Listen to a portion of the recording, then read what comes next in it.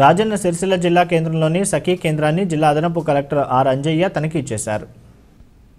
ఈ సందర్భంగా ఆయన కేంద్రంలోని కేసుల వివరాలను మరియు రికార్డులను పరిశీలించారు. కోవిడ్ సమయంలో కూడా బాధ్యత మహిళలకి తగిన సేవలను అందిస్తున్న నేపథ్యంలో సఖీ కేంద్ర పరిపాలనా అధికారిని రోజా టీంని అభినందించారు.